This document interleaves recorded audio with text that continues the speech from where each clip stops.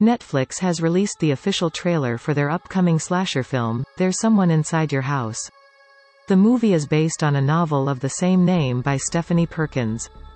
The film adaptation follows high school seniors who are being targeted by a masked murderer intent on exposing their darkest secrets.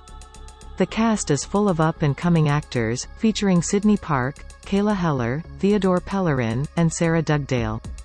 There's Someone Inside Your House is also bolstered by behind-the-scenes talent, including producers James Wan, director of Saw and The Conjuring, and Shawn Levy, executive producer of Netflix's Stranger Things. The film is directed by Patrick Brice, who previously helmed Creep and Creep 2. The new trailer for There's Someone Inside Your House, which was shared on YouTube by Netflix, offers audiences their first look at a unique slasher film. As the trailer highlights the killer's desire to expose their victim's secrets, it also offers a glimpse at their creepy signature, wearing a mask that looks like each victim's face. However, the trailer offers viewers a glimpse at a group of outsiders that band together to try and stop the killings.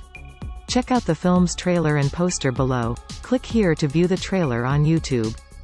The slasher genre includes some of horror's most recognizable icons, such as Michael Myers from Halloween or even Chucky from the Child's Play franchise, and the trailer for There's Someone Inside Your House introduces a new slasher with moments that look to set the film apart from genre tropes that have been established over the years.